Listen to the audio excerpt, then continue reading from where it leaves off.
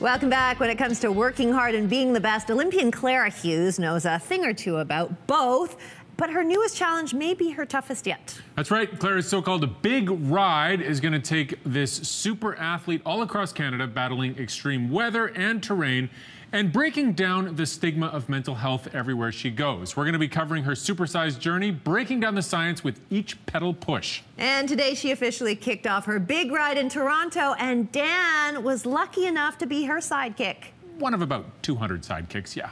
Hey folks, we're in beautiful downtown Toronto. It's nice and sunny out. We're at the Center for Addiction and Mental Health, and this is the launch of Clara Hughes' big ride across Canada. Now, to show our support, we're gonna do about 10K, but what she's about to do is unimaginably huge. The six time Olympic medalist is embarking on an epic journey. Clara's big ride for Bell Let's Talk is a 110 day national bicycle tour through every province and territory who've done thousands of kilometers on the bike this winter has prepared me definitely physically, physiologically for this ride, training the metabolism to be able to stay on the bike and, and not, you know, bonk after an, after an hour of riding. I can ride for seven, eight hours at a time and that feels manageable now. But this is the ride of her life. She's covering 12,000 kilometers and visiting 95 communities to help raise awareness and acceptance for mental health issues and break the stigma. It has to be something really epic to captivate people's attention and curiosity and it's kind of a really neat challenge to see how high we can raise the conversation of mental health as we move not just across Canada but around Canada.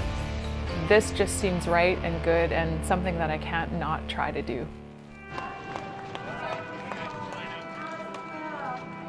So this is Maple Leaf Square, right in the heart of Toronto. This is where it's all starting for Clara Hughes. And this is where we're gonna see her get her big start.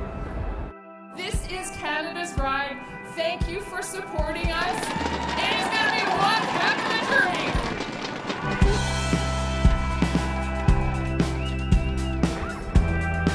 Here we go. And she's off, but not before a quick adjustment to her bike. You guys ready? Let's do it!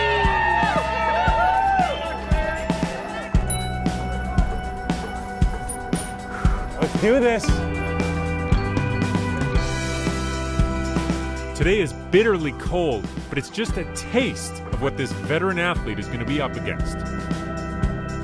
This is where my ride comes to an end, and Clara continues on her extraordinary journey.